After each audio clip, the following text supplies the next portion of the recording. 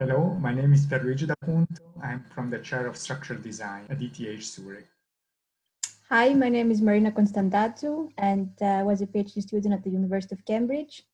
Now I'm working at the specialist modeling group at uh, Foster and Partners.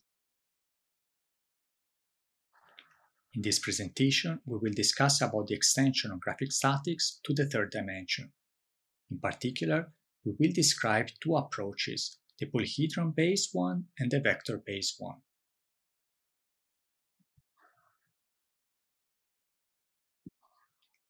One of the most incredible examples of the elegance that can be achieved by designing following the principle of resistance through form is the Salginatobel Bridge in Switzerland by Robert Maillard. The form of the bridge directly relates to the distribution of the internal forces within the structure. In fact, for the design of the Salginatobel Bridge, Robert Maillard made extensive use of graphical methods for structural engineering, and in particular graphic statics. Graphic statics is based on two diagrams, the form diagram and the force diagram.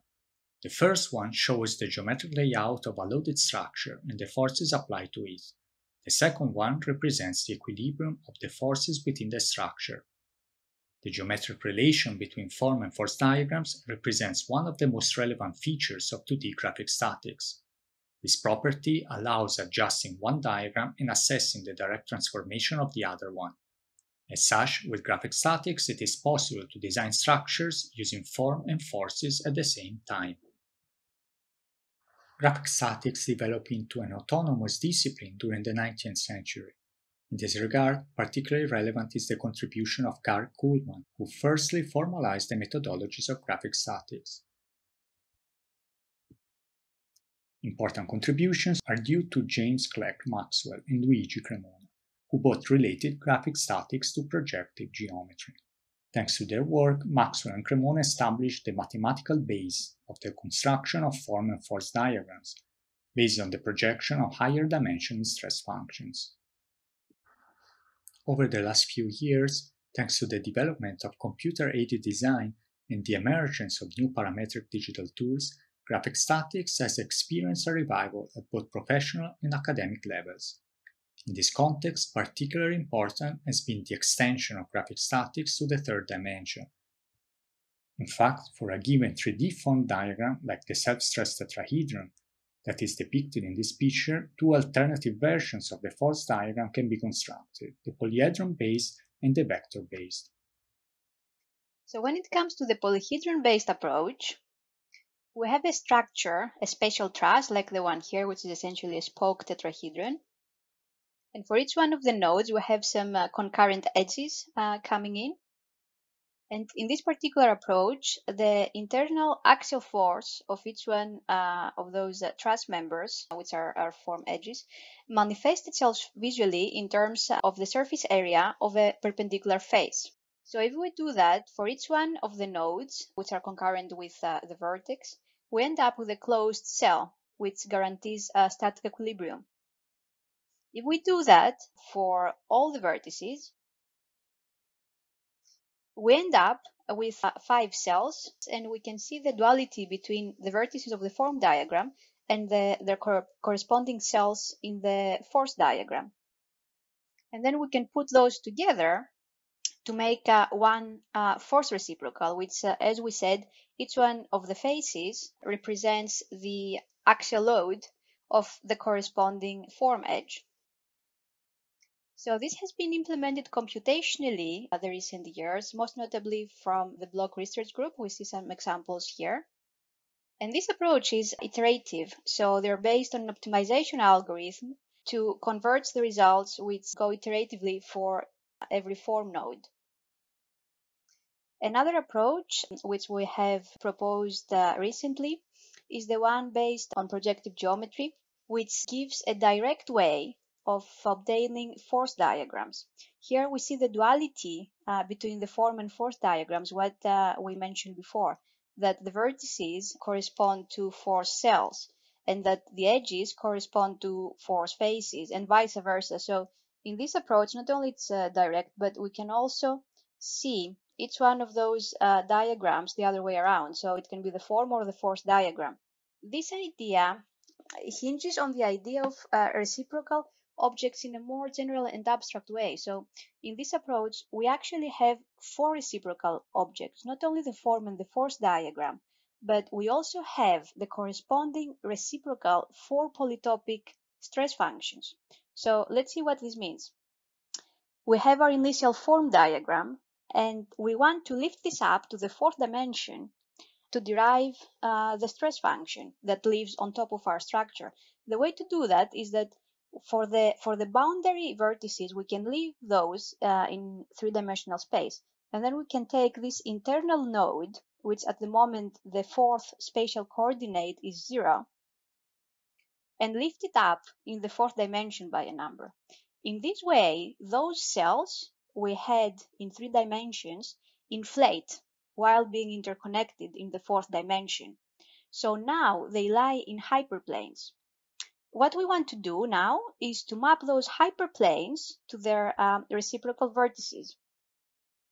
The way to do that um, is by using this uh, projective geometry construction um, of a polarity.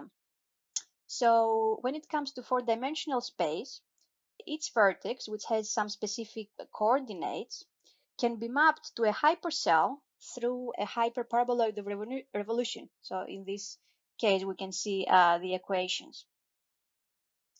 If we do that, uh, we derive the reciprocal for polytopic stress function and then we can just project those down uh, orthographically to derive a form and a force diagram.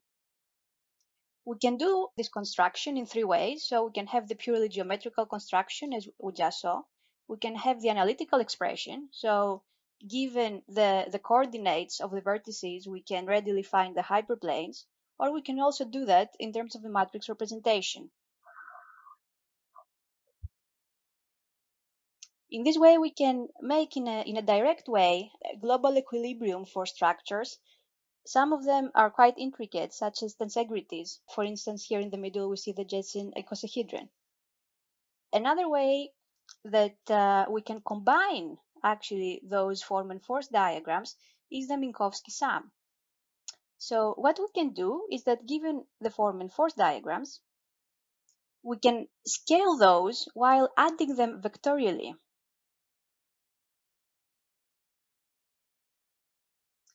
And what we get is a hybrid structure on the right, which has prisms. And those prisms have dimensions of force over length. So what they give us is that they directly give us the, the design for a constant stress design while visually giving us the information of Maxwell's load path theorem. In this animation, we see a pair of form and force diagrams um, in three dimensions and we can see how the edges are perpendicular to their corresponding faces. In the vector-based 3D graphic statics, which was originally described by Maxwell, form and force diagrams are made out of closed cycles of vectors.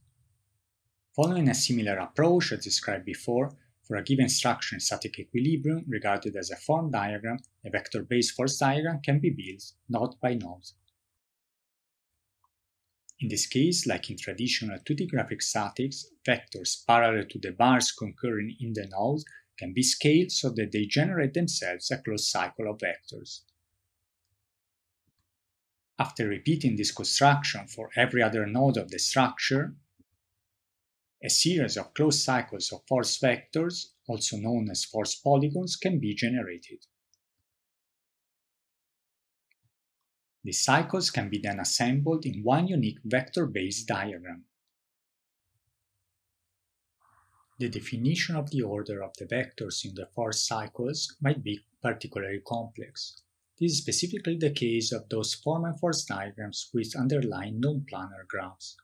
A special solution in this case has been developed by Andrea Micheletti, who shows that form and force diagrams with underlying non-planar graph can be represented by reciprocal self-stress structures.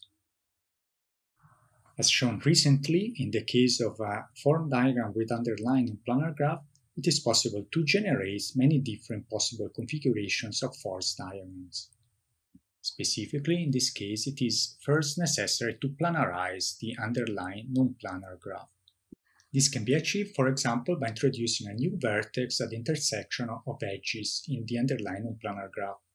In this way, the graph becomes planar and it is possible to cycle around the vertices of the graph in order to define the order of the vectors in the force polygons.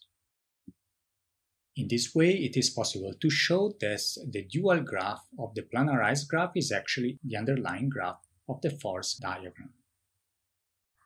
Moreover, as shown here, changing the way how the underlying graph of the form diagram is drawn leads to the definition of different configurations of the force diagram.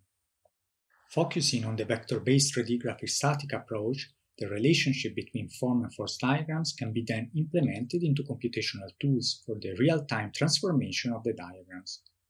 In this way, the geometry of one of the diagrams can be modified while assessing the consequent transformation of the other diagram.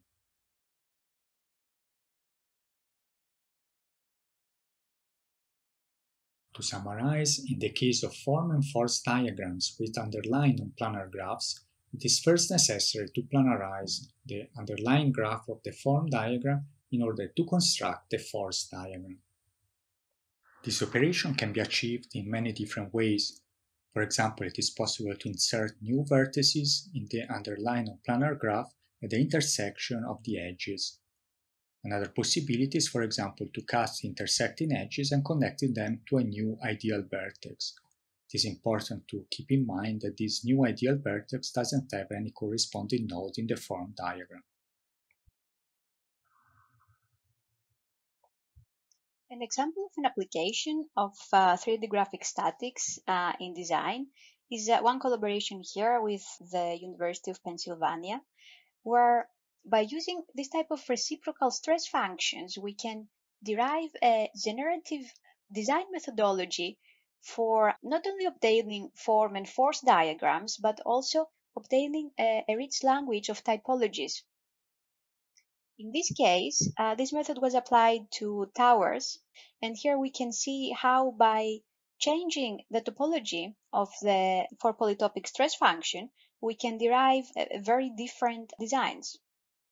An application of 3D graphic statics with a vector-based approach is shown here for the design of a pedestrian bridge. The form finding of the bridge has been done using the combinatorial equilibrium modeling. Thanks to the interdependency between form and force diagram, it is possible to manipulate one of the two diagrams and assess the consequent transformation of the other one. In this way, for example, it is possible to change the lengths of the elements in the form diagram or the magnitude of the internal forces in the force diagram. This allows to explore different structural solutions that go beyond the conventional structural typologies. Although early applications of graphic statics were limited almost exclusively to analyzing and designing 2D structures, recent research focused on the extension of graphic statics to 3D. As shown in this presentation, two general strategies can be defined in this context, namely the polyhedron-based and the vector-based approaches. Through a series of examples and applications, this contribution has highlighted the similarity and difference between the two approaches.